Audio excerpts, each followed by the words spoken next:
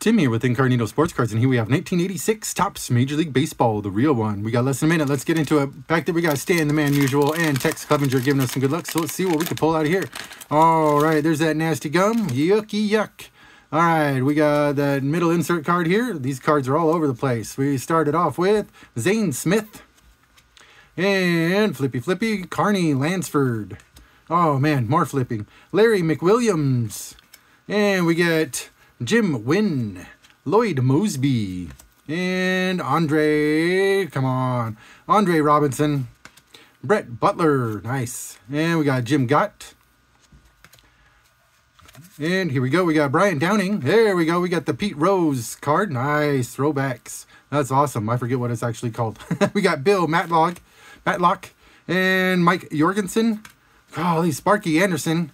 Man, Dwight Evans, and A's leader. Boy.